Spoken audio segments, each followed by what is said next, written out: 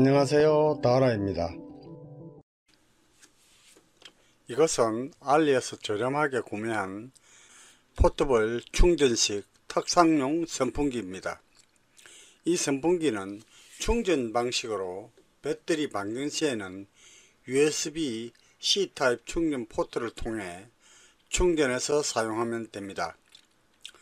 우측과 같이 납작하게 접었을 때 가로 세로의 크기가 17cm이고 폭이 7cm로 여행이나 이동 시에 접어서 휴대하기 좋은 탁상용 선풍기입니다.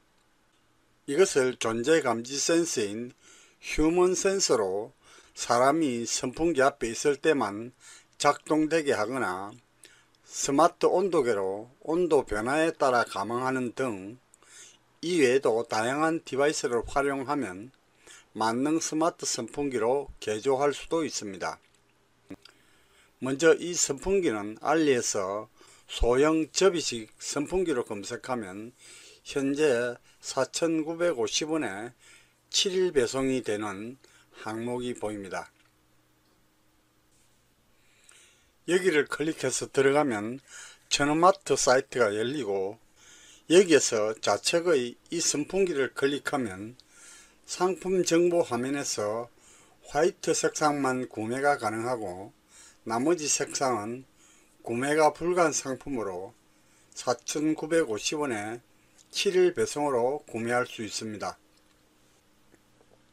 우측의 선풍기는 온도에 감항하는 탁상용 선풍기로 이전의 영상에서 소개한 선풍기인데요.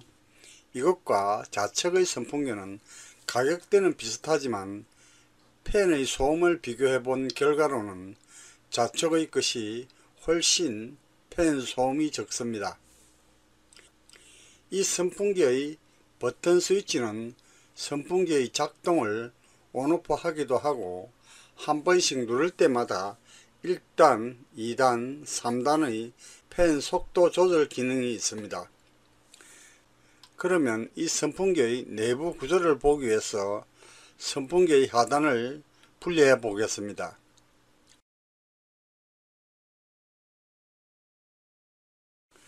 내부를 보니 18650 3.7V 1.2A 배터리가 내장되어 있고요. 헤로 모듈에서 3.7V의 전압을 성합시켜서 1단에서 3단까지 팬 속도 조절을 하고 있습니다. 그러면 각 단의 팬 속도에 어느 정도의 전압이 인가되는지 체크하기 위해서 모터 측으로 들어가는 전원선의 피복을 벗겨 보겠습니다. 전원을 인가했고요. 이제 각 단의 전압을 체크해 보겠습니다. 자 먼저 1단을 켜 보겠습니다. 1단은 4.68V 정도 들어가네요. 그 다음에 2단 해보겠습니다. 자 2단은 6.1V 정도 들어가고요. 그 다음에 3단 7.67V 들어갑니다. 이 전압 체크는 배터리로 사용하는 것과 별개로 외부 전원을 따로 인가하여 스마트 선풍기로 개조하기 위함인데 따라서 외부 전원을 직결로 인가하는 전압은 대략 6V에서 9V의 가변 power supply를 사용하면 될 것 같습니다. 이 가변 power supply는 알리 천원 마트에서 6,800원 정도의 저렴한 가격으로 3V에서 12V 5A의 전압 표기 디스플레이가 있는 제품이 있어서 참고로 보여드리지만 저는 가지고 있는 power supply로 활용을 하겠습니다. 그리고 외부 전원의 연결을 위한 DC잭과 배터리와 외부 전원의 겸용의 선택을 하기 위한 2단 3P 토글 스위치와 스위치의 선택에 따른 식별을 위해서 이색 발광 LED를 사용하겠습니다. 이것은 본래의 충전용 배터리를 사용하여 portable용으로 작동되는 결선도로 가운데의 버튼 스위치를 통해 선풍기의 on off 또는 팬의 속도 조절을 합니다.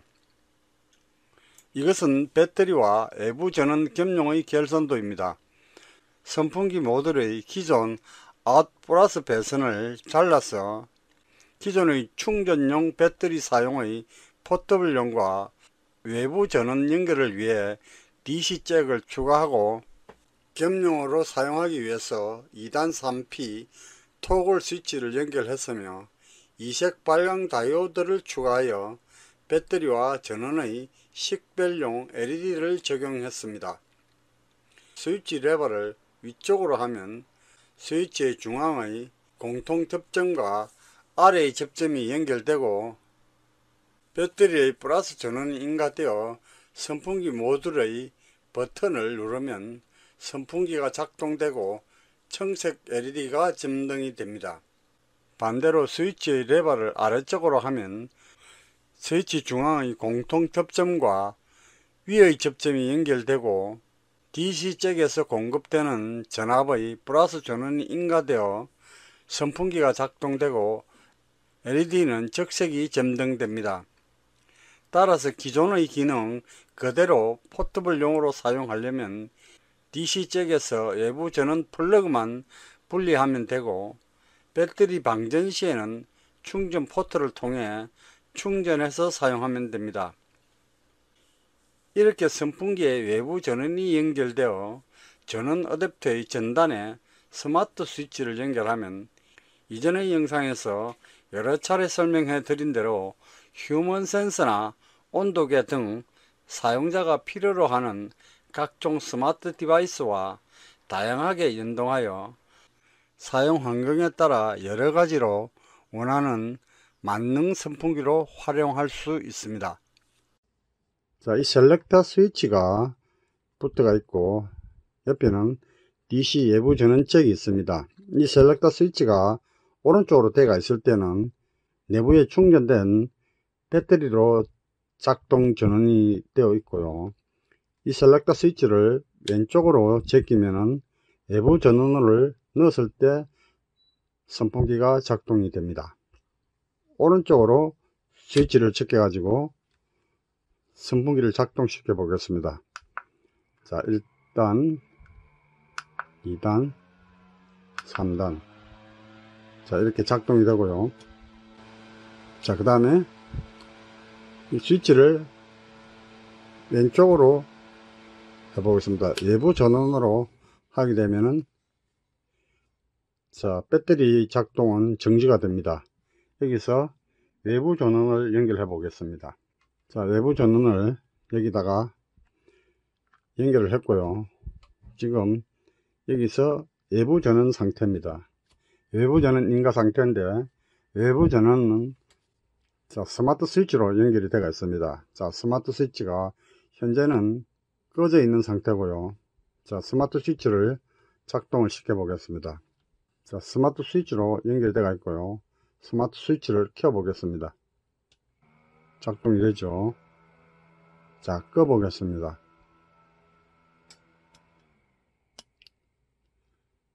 자, 이렇게 스마트 스위치로 선풍기 작동을 시킬 수 있습니다. 자, 꺼 보겠습니다.